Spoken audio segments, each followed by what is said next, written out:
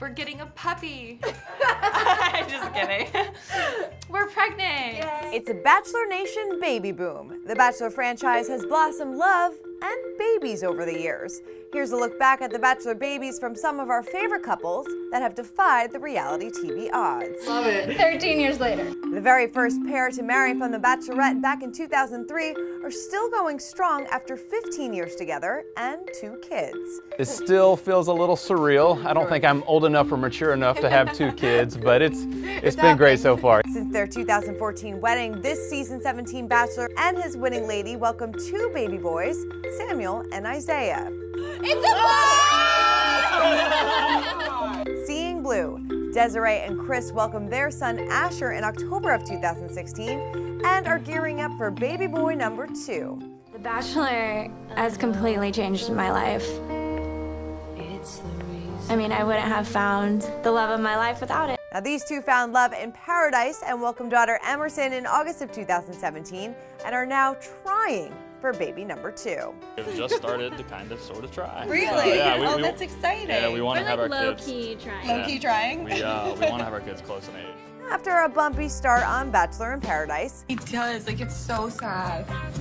I think I want to stay away from Evan today. Hey, Carly. Carly and Evan realized they had found the one. While getting ready for their Mexico wedding, they found out that they were expecting their daughter, Isabella Evelyn. found out in Mexico actually, and we took a pregnancy test in Mexico, and we saw the thing, and we were like, "What does that even say?" So we It's Googled it, and yeah, so we found out a little bit after the wedding. Our seventh bachelorette found her forever love in JP, and these two have been busy expanding their family. Their son Fordham became a big brother in 2016 when they welcomed their daughter Essex. He's the perfect baby, so he's made it really easy for us to be good parents. Now, things didn't start out as planned. Hi.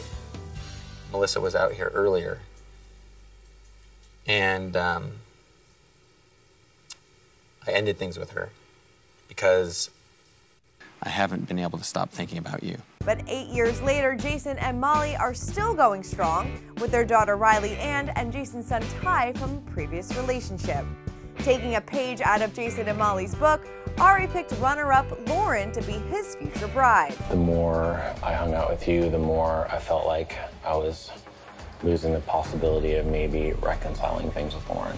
The two are expecting their first child in June of 2019, six months after they say I do. Bye bye.